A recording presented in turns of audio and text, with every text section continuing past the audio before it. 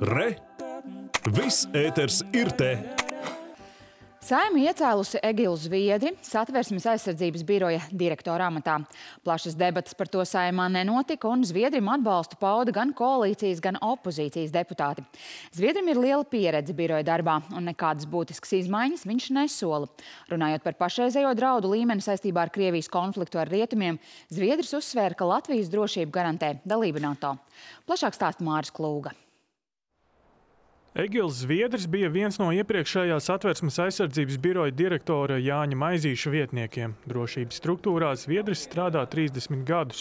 Saimā Zviedri atbalstīja 90 deputāti. Pret nebija neviens, savukārt divi klātesošie balsojumā nepiedalījās. Debatēs deputāti pauda, ka galvenās Zviedru priekšrocības ir ilgā pieredze, politiskā neutralitāte un spēja biroju pilnvērtīgi vadīt no pirmās dienas. Situācija mūsu reģionā ir nestabila un svarīgi, lai sāp galvenie uzdevumi kā valsts drošības iestādē, izlūkošanā un pretuzlūkošanā. Varētu notikt netraucēti un bez pārtraukumiem. 30 gada sistēmā tas ir nopietni. Liela pieredze dienestā tas ir svarīgi. Uzskatu, ka šai situācijā, jo ilgāk esi amatā, jo lielāks svars tevis teiktajā. Nekādas būtiskas pārmaiņas birojā Zviedrs neplāno. Tas arī nesot iespējams, jo biroja darbu strikti regulējot likums, un tam ir sava loma NATO drošības sistēmā. Zviedrs teica, ka savu pienesums aliansei ir izpratne par Krieviju. Mūsu priekšrocība ir attiecīgi ārpus Eiropas Savienības un NATO dalību valstu tā, nu, situācijas pārzināšana, ņemot vērā gan mūsu geogrāfisko izvietojumu, gan arī attiecīgi mūsu vēsturisko atmiņu, gan arī zināšanas teiksim, par, par kaimiņiem.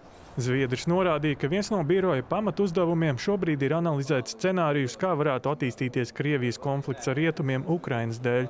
Labā ziņa esot, ka valstu vadītāju sarunas joprojām turpinoties. Sliktas sarunas vienmēr ir labākas par, par, par labu karu, un ja mēs runājam par Latvijas teiksim, nu, situāciju vai kāds iespējamais apdraudējums Latvijai var no, izējot no patreizējās situācijas būt, tad uh, Latvija ir NATO un Eiropas Savienības dalībvalsts. Tātad mēs 2004. gadā, kad iestājāmies NATO, faktiski ar to arī garantējām, ka